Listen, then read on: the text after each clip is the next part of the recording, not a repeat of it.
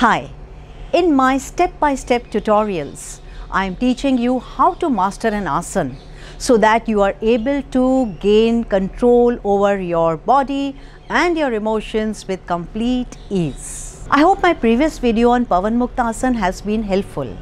Pavan Muktasana helps eliminate wind and gases from the stomach. It helps bowel movements so that you feel lighter and happier throughout the day. Our topic today is Halasana or the plow pose which is extremely beneficial to supply blood flow to the brain and to improve blood circulation mainly to the upper body.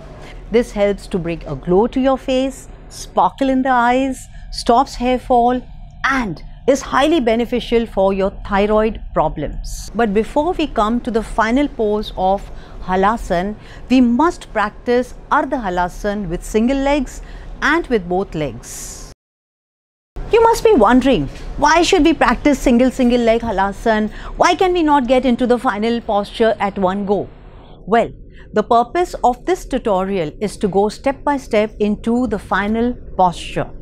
By practicing Ardha Halasana, we stop at certain junctions. First we stop at 30 degrees, then at 60 degrees and then at 90 degrees holding there for minimum 5 breath counts.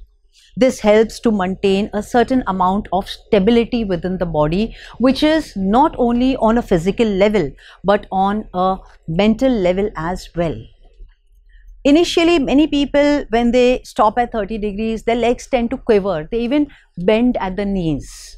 So to overcome these issues and to smoothly get into the asana, we must practice Ardha Halasana with single legs and with both legs before doing the final plow pose.